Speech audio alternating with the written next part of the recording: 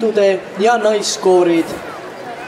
Piret Rips laul Anna Haava, Minu päralt sinitaevas juhatab Tiina Kivimäe